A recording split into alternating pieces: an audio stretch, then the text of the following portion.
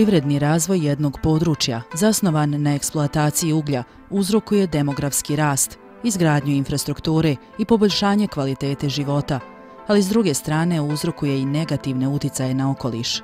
Modernizacija, progres, urbanizacija, život na dugme ugušili su prirodu. Svakodnevnim razvojem ljudske vrste trpi ekološka sredina i okruženje. Mijenja se, a te promjene već osjetimo. No šta možemo uraditi da ih zaustavimo? Šta možemo uraditi da i dalje živimo lagodno, prigrlimo nove tehnologije, a istovremeno koliko toliko očuvamo prirodu?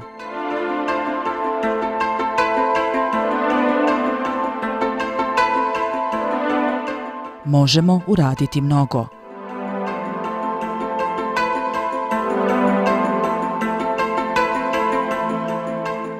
Za početak, priznati da smo svi mi i pojedinci i institucije podjednako odgovorni za okolinu u kojoj danas živimo, a onda početi da se mijenjamo, malim koracima, ali sigurno. Predstavnici termoelektrane Tuzla nikada nisu negirali štetne posljedice koje su e, evidentno bile u periodu, ajde kažemo, e, od početka eksploatacije pa do danas e, tehnologija deponovanja šaki i pepela, e, način organizacije i tako dalje su iza sebe stvarno imali posljedice koje su e, ugrožavale na određen način, ajde da kažem, otežavale život na tom području.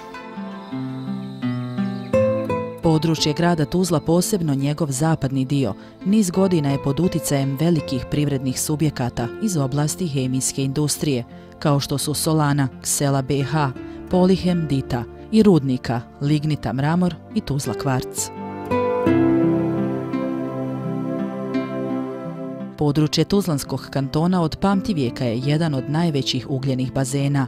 Zbog prirodnih rudnih bogatstava sa velikim količinama uglja izgrađen je najveći termoenergetski objekat u Bosni i Hercegovini, termoelektrana Tuzla.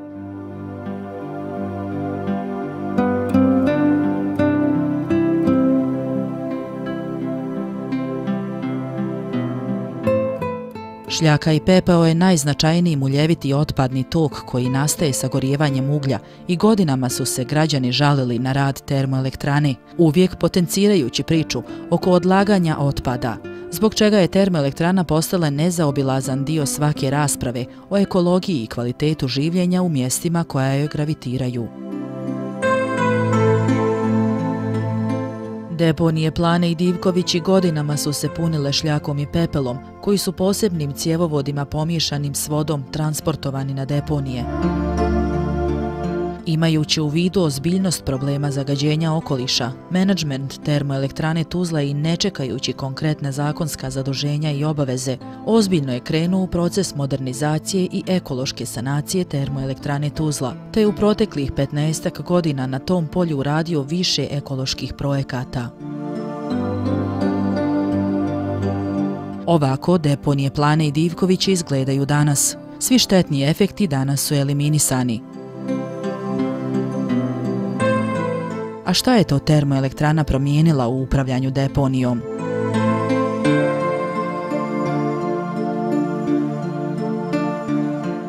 Divkovići 1, Divkovići 2, Plane i Jezero 1 deponije su korištene u proteklom vremenu. No deponija koja je danas aktivna je Jezero 2 i jedina je aktivna deponija koju koristi termoelektrana Tuzla. Urađena po savremenim standardima, ona je proizvod dugogodišnjeg rada na ublažavanju štetnih uticaja na okolinu, koji su danas svedeni na minimum.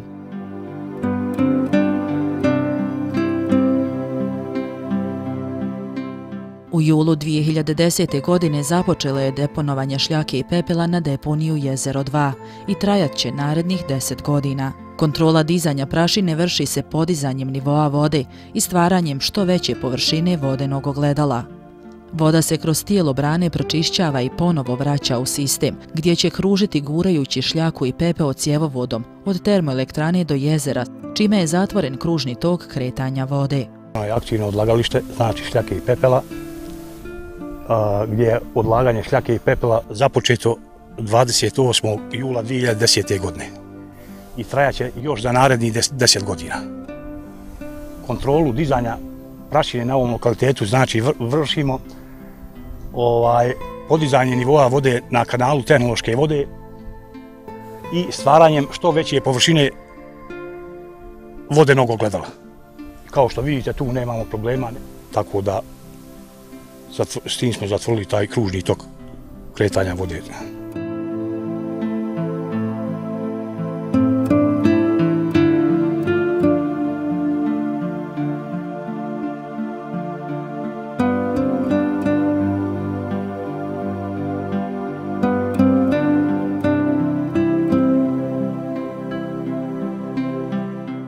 Deponija je s razlogom pod videonadzorom. On omogućava inženjerima da uvijek imaju uvida u visinu vodenog pokrivača i da u momentu kada on opada, puštaju vodu kako bi spriječili dizanje prašine, što se više i ne događa, jer deponija je stalno potopljena. U toku dana u više navrata vrši se obilazak deponije kako bi se iz prve ruke uvjerilo o njenom kontroliranom uticaju na okoliš. Na ovaj način u potpunosti je zaustavljeno dizanje eolske prašine. Nakon taloženja šljake i pepela na deponiji, višak vode se vraća nazad, ali ta voda više ne ide u recipijent, već se cjevovodima ponovo vraća u proces, čime je eliminisan još jedan izvor zagađenja okoline. Svi oni efekti koji su bili ajde da kažemo, prisutni određeno vrijeme na području Divkovića, sada više ne postoje.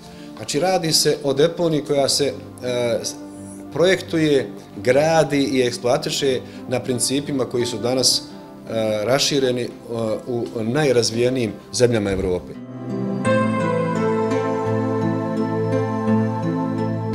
Tehnike i tehnologije koje se danas primjenjuju ne razlikuju se od onih koje se primjenjuju u evropskim zemljama, zbog čega se s jezera dva danas ne diže prašina, a voda ne otiče u obližnje rijeke. U krugu termoelektrane Tuzla i na deponijama za odlaganje šljake i pepela jednom godišnje se vrši ispitivanje na radioaktivnost – Termoelektrana redovno vrši monitoring sadržaja lebdećih čestica i sve vrijednosti su ispod dozvoljenih vrijednosti. Vrši se ispitivanje kvaliteta tla, ispitivanje teških metala i pH vrijednosti. Rade se fizičko-hemijske analize šljake i pepela i radi se koncentracija radionukleida. Mjerenjem radioaktivnosti u procesu proizvodnje utvrđeno je da nivo prirodnih i umjetnih radionukleida u uzorcima ne prelaze utvrđene maksimalno dozvoljene vrijednosti, zašto je izdat certifikat. Jezero 2 posljednja je aktivna deponija šljake i pepela koju koristi termoelektrana Tuzla. Se nalazimo na lokalitetu odlagališta šljake i pepela jezero. Ovaj dio odlagališta šljake i pepela koji vidite dole, znači to je takozvano jezero 1.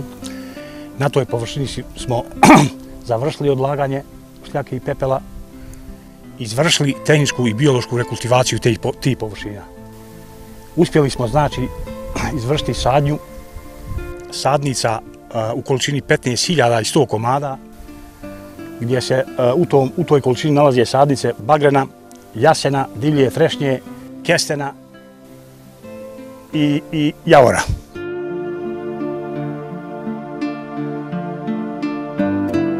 Nasipanje zemljanog sloja i sadnja vegetacije prvi su koraci rekultivacije zemljišta, na kome je bilo šljačište. Deponija Jezero 1 prošla je taj proces zahvaljujući kojem danas izgleda poput zelenog filtera koji razgraničava industriju i sredinu ugodnu za život. No pojava šljačišta kao nus proizvoda razvoja tehnologije i industrije neminovna je, ali u toj neminovnosti postoje standardi koji ukoliko se primjenjuju otpad i krize prevode u šanse i mogućnosti za stvaranje novog života i u vegetativnom smislu.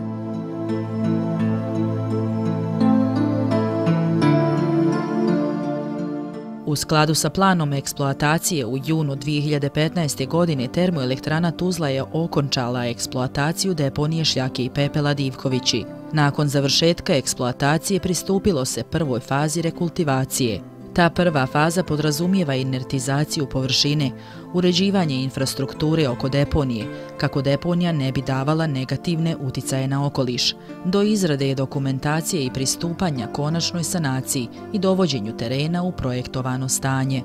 U tom smislu termoelektrana Tuzla i grad Tuzla potpisali su sporazum o saradnji vezan za završetak eksploatacije Divkovići. Kako bi se spriječilo dizanje pepela i prašine, čitava površina deponije pokrivena je zemljom. A jedan dio je već i pošumljen.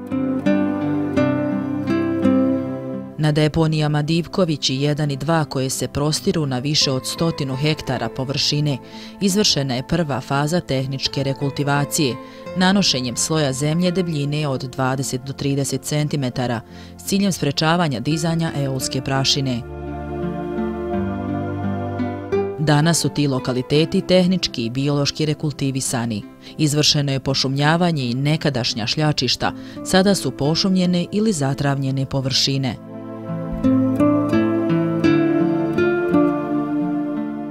Na jednom dijelu zone nekadašnjeg šljakišta sanacija prostora urađena je sadnjom bagrema.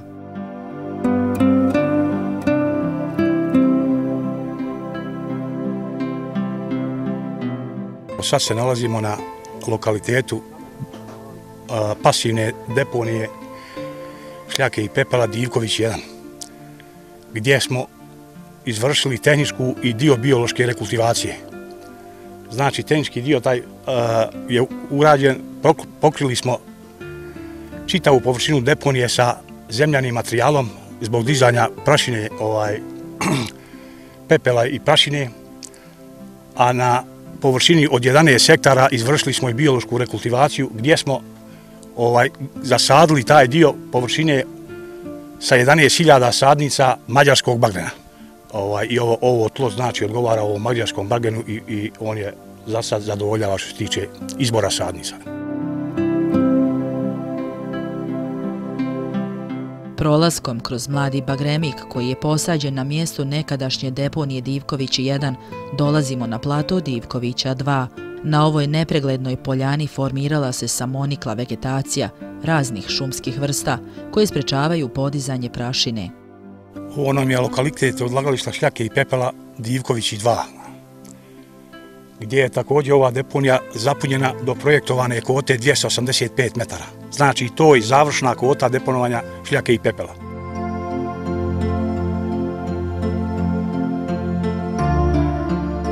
Koncentracija prirodnih i umjetnih radionukleida ne prelazi zakonom dozvoljene granice. Federalno ministarstvo okoliša izdalo je rješenje za izradu studije za zatvaranje deponija Divkovići i Plane i naložilo izradu studije procjene uticaja na okoliš za zatvaranje ovih deponija. Zadatak dat menadžmentu termoelektrane Tuzla je rekultivisati degradirane površine šljačišta i u konačnici pripremiti tlo za budućnost u kojoj bi rekultivirano tlo bilo od koristi svim građanima.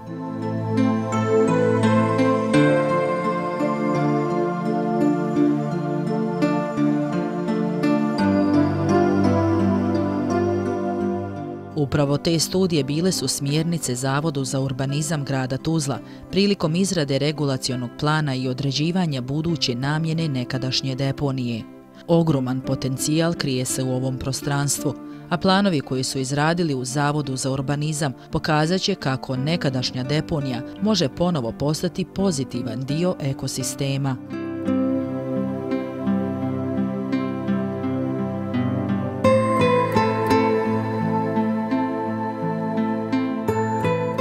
Donesena je odluka kojom se čljačište zatvara i termoelektrana kao korisnik prostora dužna je da izvrši sanaciju prostora. Paralelno s tim izrađen je i regulacioni plan prostorne cijeline koji je u završnoj fazi i tretira buduće namjene ovog prostora. Imali smo naravno na umu njenu dosadašnju namjenu i ono što se može sa e, kao prijelazna varijanta napraviti e, za dobrobit svih građana, osobito ovog područja uže lokacije, znači ljudi koji gravitiraju baš ovom prostoru, ovim susjedne mjesne zajednice. Svakim globalnim planskim dokumentom grada Tuzla koji tretira šire područje, tretiraju se i različite površine za različite namjene, tako i površina nekadašnje deponije. Ona je razmatrana prvo prostornim planom Tuzlanskog kantona, ali u vrijeme kada je prostorni plan trebao da nastane, bila je još uvijek aktivna, zbog čega nije mogla biti određena njena buduća namjena. No izradom prostornog plana grada Tuzla, koji je globalni i strateški plan koji tretira cijelo područje grada, ova prostorna cijelina je zacrtana kao buduća rekreaciona zona. Regulacioni plan koji je sačinjen je globalan i razmatra čitavu površinu, no podijeljen je u zone tako da će svaki kompleks biti pojedinačno razmatran i detaljnije planiran. To je proces koji se mora odvijati korak po korak. Prva je sanacija pa realizacija namjena koje su ekološkog karaktera, jer zelene površine čiste vazduh. I mi smatramo da ovakve namjene, uslovno rečeno, e, e, propisana rekreacija, je danas možda re, samo rekreativna zona, a ka, kako vrijeme bude išlo, uh, komad po komad tog prostora možemo u budućnosti i namjenjivati u skladu sa potrebama. Znači idemo na globalno, onako kako su bile preporuke, da zaštitimo taj prostor i da ga saniramo. To je pod jedan. E, smatramo da stanovnici ovaj prije svega zaslužuju da taj prostor ekološki bude zdrav.